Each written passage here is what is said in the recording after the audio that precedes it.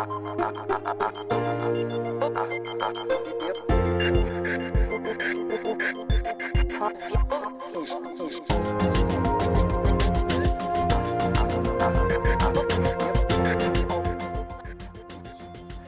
in der Sendung ÖPNV in der Region. Regiobus bleibt für die nächsten zehn Jahre. Menschenleben retten über das Ehrenamt bei den Johannitern und zauberhafte Sportart Quidditch in Hannover. Außerdem haben wir den Eisvergleich in Hannovers Eisdielen gemacht. Was gibt's wo? Das erfahren Sie gleich. Und damit guten Abend und herzlich willkommen zu 0511 TV Lokal, Ihrem täglichen Magazin aus Hannover. Los geht's mit diesem Thema. Den Busverkehr im hannoverschen Umland übernimmt auch in den nächsten zehn Jahren Regiobus. Dem hat die Regionsversammlung heute zugestimmt und schon vorher haben Regionspräsident Hauke Jagau und Verkehrsdezernent Ulf Bürger Franz über die neue alte Kooperation berichtet. Die Region Hannover freut sich darüber, den Auftrag für Busverkehr im Umland an das eigene Tochterunternehmen Regiobus geben zu können. Verkehrsdezernent Ulf Bürger Franz verspricht auch eine Qualitätssteigerung bei den Bussen, zum Beispiel WLAN-Netzwerke. Ein Fokus soll bis 2030 auf Elektro- und Wasserstoffbussen liegen. Auch Regionspräsident Hauke Jahrgau ist von der neuen alten Kooperation überzeugt. Es bedeutet für die Menschen, die in der Region leben, dass sie ein zuverlässiges Busunternehmen haben werden mit modernen Bussen, mit Fahrern und Fahrerinnen, die vernünftig bezahlt werden und mit der Sicherheit, dass die Veränderungen, die notwendig sind, äh, auch schnell umgesetzt werden können. Um wirtschaftlicher zu werden, soll Regiobus bis 2024 jährlich rund 2,9 Millionen Euro einsparen. Dadurch kann es auch in Zukunft zur Streichung von Fahrten kommen. Und auch mit Personalabbau muss das Unternehmen rechnen. Bis zu 66 Arbeitsplätze sollen eingespart werden. Fußball verbindet. Das dürfte für die meisten nichts Neues sein und deshalb veranstaltet der Verein für Inklusion mittendrin Hannover am kommenden Wochenende ein Fußballcamp. Mit dabei sind unter anderem auch die Bolzplatzhelden. Der Verein hat sich Inklusion übrigens als sein Leitziel gesetzt und macht einen Unterschied zur Integration, bei der von zwei parallel bestehenden Gruppen die Rede ist. Das Camp ist für alle Kinder von 6 bis 15 Jahren gedacht und startet am Samstag um 10 Uhr. Unter mittendrin-hannover.de gibt es alle Infos zur Anmeldung und Teilnahmegebühr. Menschenleben retten. Das ist das, was Ralf Thomas antreibt. Er arbeitet ehrenamtlich beim Katastrophenschutz der Johanniter Unfallhilfe in Hannover. Marius Müller hat den Helfer für seinen Abschlussfilm getroffen und mit ihm über seine Arbeit geredet. Ehrenamtliche im Katastrophenschutz in Niedersachsen, so heißt der Film, den wir Ihnen jetzt zeigen dürfen. Bitte schön. Mein Name ist Ralf Thomas. Ich bin im 15. Einsatzzug der Johanniter Unfallhilfe im Katastrophenschutz tätig und dort eingesetzt als Gruppenführer im Bevölkerungsschutz. Bin hauptberuflich auch bei der Johanniter Unfallhilfe, arbeite dort im PRM-Service am Flughafen Hannover. Das heißt, wir bringen Menschen, die eine Beeinträchtigung haben, die nicht richtig laufen können, die motorische Ausfälle haben, halt ins Flugzeug und holen sie auch wieder ab, damit die barrierefrei halt reisen können. Zu meinem Ehrenamt hier bei den Johannitern bin ich gekommen über die ähm, Feuerwehr, wo ich seit 27 Jahren schon ehrenamtlich tätig bin. Wir hatten dort bei einer Veranstaltung einen medizinischen Notfall, haben dort angefangen, Erste Hilfe zu leisten. Dort habe ich festgestellt, dass mein Fachwissen nicht ausreicht. Da wurde ich dann allerdings adäquat unterstützt von einem Helfer hier aus dem Ehrenamtszug, ähm, der mir gezeigt hat, dass man das halt ähm, nebenberuflich lernen kann und dann halt das Wissen auch weitergeben kann und dann adäquate Hilfe leisten kann. Zu helfen bedeutet für mich, dass ich für jemanden da sein kann, der meine helfende Hand einfach braucht, ähm, medizinisch im Einsatz, im Katastrophenschutz, im Bevölkerungsschutz sowie auch im Sanitätsdienst, allerdings auch privat. Wenn jemand ein Problem oder eine Krise hat, wo ich ihm helfen kann und sei es nur durch Zuhören, ähm, ist das halt eine schöne Sache. Und daraufhin fühle ich mich halt hier sehr gut aufgehoben, weil ich dahingehend weiter ausgebildet werde.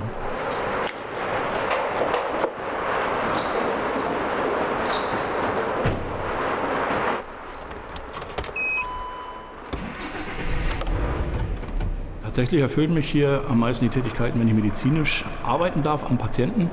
Ähm, mir wurde hier ein Weg der Ausbildung gegeben, wo ich halt mich zum Rettungssanitäter weiterbilden darf, meinen Grundlehrgang jetzt auch schon abgeschlossen habe. Dann wurde aus der Feuerwehr tatsächlich mein Truppführer hier anerkannt. Aufgrund dessen durfte ich mich jetzt auch zum Gruppenführer weiterbilden lassen im Bevölkerungsschutz. Und das ist halt das, was mich erfüllt. Also das ist ein Geben und Nehmen bei den Johannitern. Ich gebe meine Freizeit mehr oder weniger, bekomme aber dafür Ausbildungsmöglichkeiten und das ist eben das, was mich auch ein bisschen antreibt tatsächlich. du deine PSA so her, wie du sie auch anziehen sollst? Geld ist hier nie ein Thema im Team. Ähm, was uns halt Spaß macht, das sind die medizinischen Möglichkeiten, die wir hier haben, die Ausbildungsdienste, das Lernen an sich und ähm, ja, die Arbeit im Team, das Lösen von Aufgaben im Team und auch das Lösen von Aufgaben, wenn wir dann wirklich im Sanitätsdienst arbeiten. Und da ist halt entgeltlich, ist nicht unser Interesse daran, sondern dann tatsächlich der Dienst an der Allgemeinheit und der Spaß an der Sache.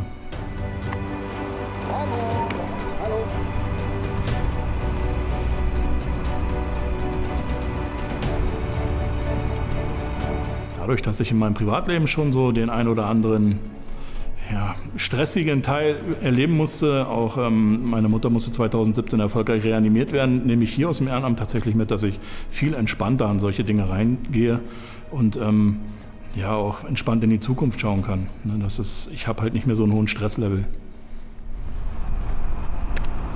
Den allgemeingesellschaftlichen Zusammenhalt draußen würde ich sagen, der ist, ich drücke es vorsichtig aus, so gut wie nicht vorhanden.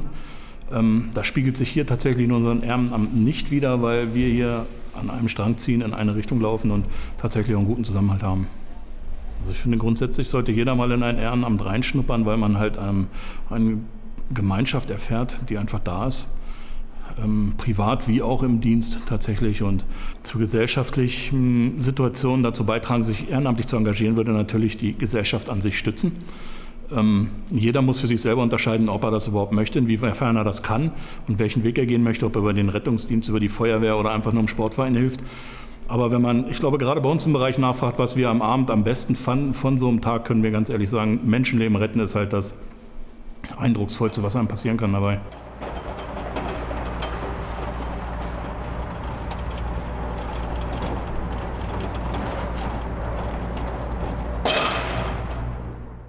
Hinter uns liegen die bisher heißesten Tage des Jahres. Und auch wenn Sie die Hitze vielleicht nicht allzu sehr schätzen, so ist sie doch ein Riesengeschäft für Hannovers Eisdielen.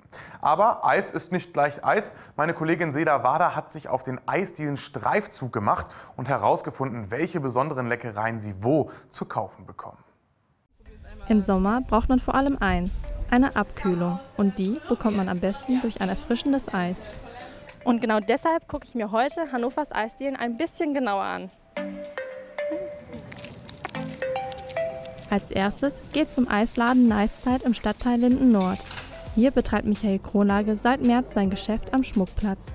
Wie es zu der Idee kam, erzählt uns der Inhaber selbst. Eigentlich bin ich Mediziner und hatte vor vier, fünf Jahren, äh, habe ich in Osnabrück den Cold Stone gesehen, in einer Eisdiele, die Cold Stone gemacht hat, allerdings nicht mit eigenem Eis. Und das hat mich so ein bisschen angefixt, habe das dann recherchiert und das gab es in Deutschland so gut wie gar nicht, Cold Stone. Kein Besonders wichtig sind ihm die Inhaltsstoffe seiner Produkte. Bio und nachhaltig soll es sein.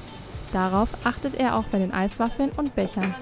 Dabei soll die Produktion so transparent wie möglich sein, weshalb der Laden einen Einblick in das Labor gibt. Mir ist Transparenz wichtig, einfach. Die Leute sollen sehen, was wir machen, wie so ein Eis entsteht. Eine weitere Besonderheit ist die Cold Stone Methode. Dabei werden Eissorten auf eine kühle Eisplatte gelegt und miteinander vermengt. Mit ein paar selbstgewählten Toppings drauf ergibt das Ganze eine individuelle Portion.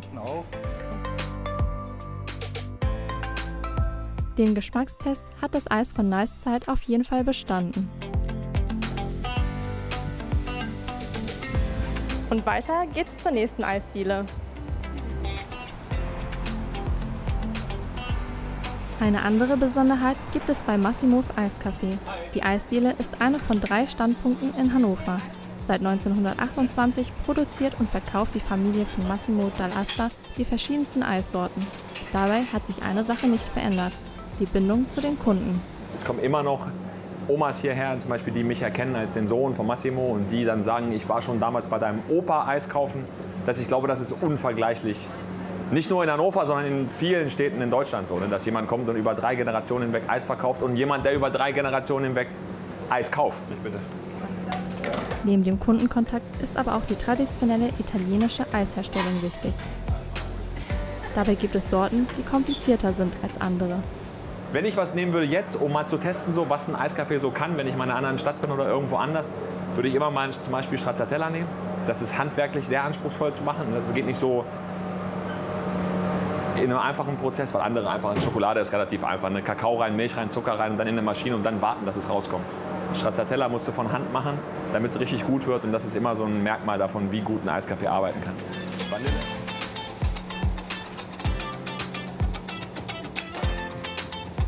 Tradition und enger Kundenkontakt.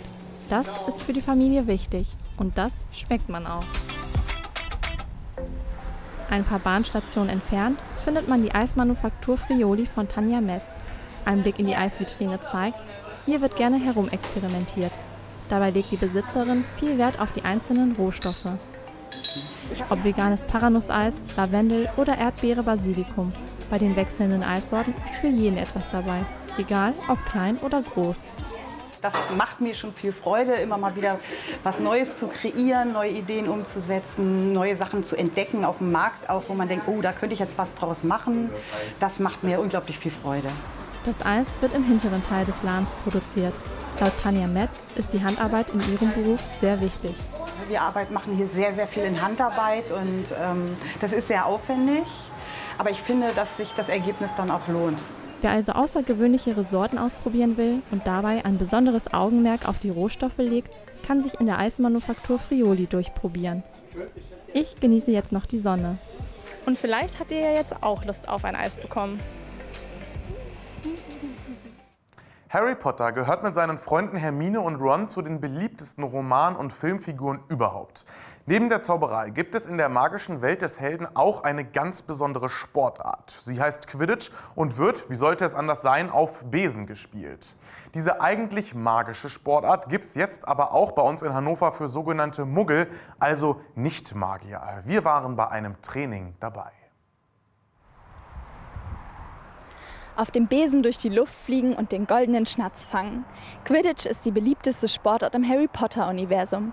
Und wer sich jetzt denkt, das ist in echt doch gar nicht möglich, der sollte genau aufpassen. Denn ich spiele heute Quidditch mit den Swooping Evils. Im Allgemeinen ist Quidditch ein Teamsport, bei dem mit verschiedenen Bällen gespielt wird. Für die Spieler wird es jetzt ernst. Ziel ist es, mehr Punkte als die gegnerische Mannschaft zu erlangen. Quidditch als Sportart wurde 2005 von Studenten in den USA entwickelt. Dabei wurde versucht, so nah am Original der Harry Potter-Reihe zu bleiben wie möglich. Es wird auch egal bei welchem Wetter immer draußen gespielt. Die Teams bestehen aus sieben Spielern, sowohl Mädchen wie auch Jungen. Ich darf heute zum ersten Mal Quidditch mit den Swooping Evils spielen. Vorkenntnisse braucht man keine, denn man muss kein Harry Potter-Fan sein, um mitspielen zu können. Niklas Koller spielt schon seit zwei Jahren und erklärt mir, was ich alles brauche. Und wie läuft so ein Spiel jetzt ungefähr ab? Hinter uns sieht man die ja schon fleißig am Spielen. Es gibt sieben ähm, Spielmitglieder in einem Team. Ähm, dort sind es äh, drei Jäger, die versuchen, den Volleyball durch einen der großen drei Torringe zu werfen. Und dann gibt es noch ähm, drei, zwei Treiber, die versuchen mit dem äh, Dodgeball gegnerische Teammitglieder abzuwerfen. Und dann kommt nach 17 Minuten der Schnatz aufs Feld. Das ist eine unparteiische Person, meist aus einem dritten Team bei einem Ligaspiel. Und äh, nach 18 Minuten dann die beiden Sucher der jeweiligen Teams, die dann versuchen, einen Tennisball, ähm, der hinten an der Hose des ähm, Gegners befestigt ist, zu schnappen. Jedes Team hat drei Tore in Form eines Kreises. Für jedes Tor gibt es 10 Punkte, für den Schnatz 30. Wenn dieser gefangen wurde, ist das Spiel beendet. Eine Runde dauert ca. 20 bis 25 Minuten. Auch internationale Wettbewerbe gibt es. Die Weltmeisterschaft war dieses Jahr in Florenz. Mein Fazit, mit Magie hat die Sportart wenig zu tun. Vielmehr sind Kondition und taktisches Denken gefordert. Am Anfang ist es eher befremdlich, mit einer Stange zwischen den Beinen zu laufen, aber wenn man den Dreh erst einmal raus hat, bietet die Sportart jede Menge Spaß. Und eine Meldung noch ganz zum Schluss. Die Sommerferien in Niedersachsen stehen vor der Tür und an den ersten beiden Ferientagen bietet die Hochschule Hannover für Schülerinnen und Schüler ein besonderes Angebot an. Bei der sogenannten Summer School können sich Interessierte über verschiedenste Studiengänge informieren. Ob Vorlesungen, Übungen oder aber Laborbesichtigungen, alles kann besucht und erlebt werden. Mehr Infos gibt es im Internet unter hs-hannover.de. Ein Schwerpunkt der Summer School liegt auf den sogenannten MINT-Fächern, also Mathematik, Informatik, Naturwissenschaften und Technik. Und das war es auch schon wieder mit 0511 TV Lokal. Schalten Sie natürlich auch morgen wieder ein, wie immer um 18.45 Uhr. Dann gibt es wieder Sport bei uns in der Sendung. Das war's von mir. Machen Sie es gut. Ihnen noch einen schönen Abend. Tschüss.